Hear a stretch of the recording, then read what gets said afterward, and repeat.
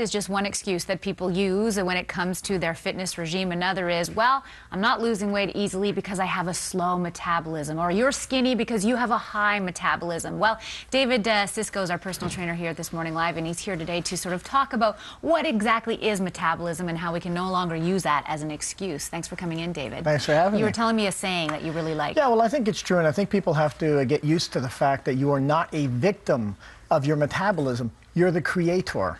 And people really have to understand that that's just a fact. When you see somebody who's obese, it's not like they don't have a lifestyle that supports that look, in as much as when you see somebody with the look of an Olympic athlete, they also have a lifestyle that supports that look. All right, so let's talk about, first of all, what is your basal metabolic rate? Right. When it comes to metabolism, it's not metabolisms, but rather it's metabolisms. Uh, there's many of them. Every entity in your body has its own metabolism, and there are things that we can do, and we're going to look at this at what we can do to speed up certain elements of our metabolism. All right, so we're taking a look at a chart now. Right. The basal metabolic rate, now this is just how many calories your body expends throughout the course of the day just to exist, that is, in the state of a coma, if you will, okay. really doing nothing.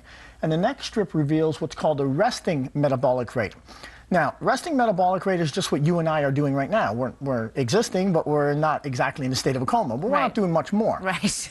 but now, if you want to elevate these two particular parts of your metabolism, what you want to do then is exercise, but in particular with weights, because that will add lean muscle tissue to your body.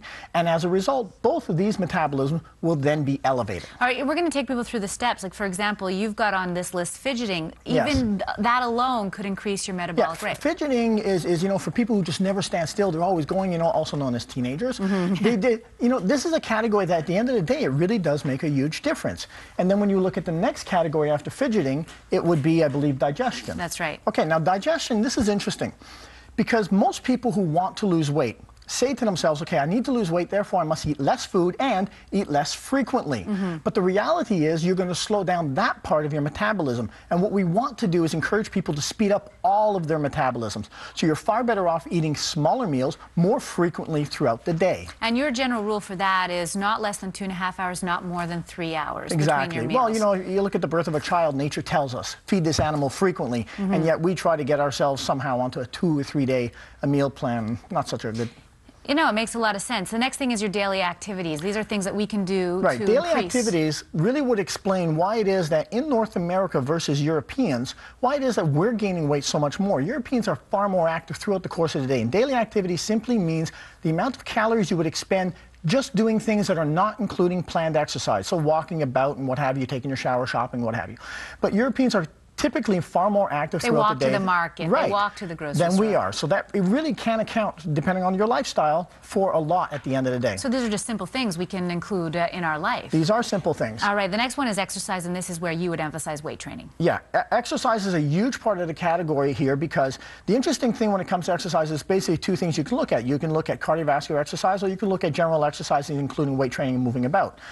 Now, the interesting thing is a lot of people who have done cardiovascular exercise will look at the treadmill or whatever machine they're on and see how many calories they burn. Mm -hmm. What they don't know is that the category after exercise is called glycogen. And that is, this is your body still burning calories after exercise. So what happens is that your muscle metabolism remains elevated mm -hmm. from the exercise you did. So even though the machine may say 300 calories, your body continues to burn calories. Even more so if you're using You could weights. even take a shower after you're done, walk out of that shower and still be sweating. Why? Because your metabolism is still racing.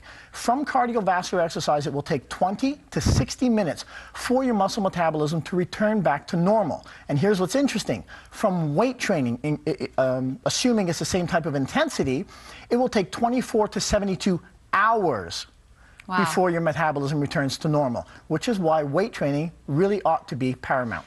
So does that mean that any exercise you do in that 72 hour period after you've lifted weights, you're going to, it's going to be even more effective for well, your overall Well, weight? that's that's the concept when it comes to weight training that you want to make sure you're always training different muscle groups. Okay. Because there is that possibility that that 24 to 72 hours, that recuperation zone, that those particular muscles have not recuperated. So you allow them adequate time to do that, and you work other muscle groups in the process. You know, you make it sound so simple, David. Oh, but it is. Yeah, all right. Well, thanks very much, Jeff, for coming in. No more excuse, no more blaming your metabolism. That's right. Though I do think I have a slow one. Oh, all right, it.